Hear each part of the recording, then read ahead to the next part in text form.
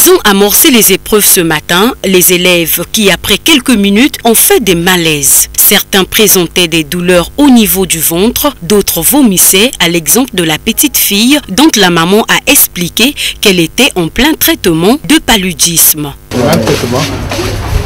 Bon, elle a commencé de, de voir un traitement seulement hier. On met ça à la maison et puis euh, ça va passer.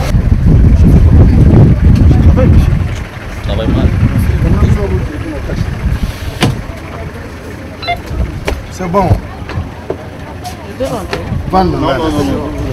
Pourtant, une équipe d'urgence a été mise en place par les autorités compétentes, notamment à travers une ambulance pour gérer ces genres d'incidents. Pourquoi ne pas prévoir une session de rattrapage pour ces élèves puisque cette mère désemparée n'a eu que ses larmes réalisant le pire pour sa fille?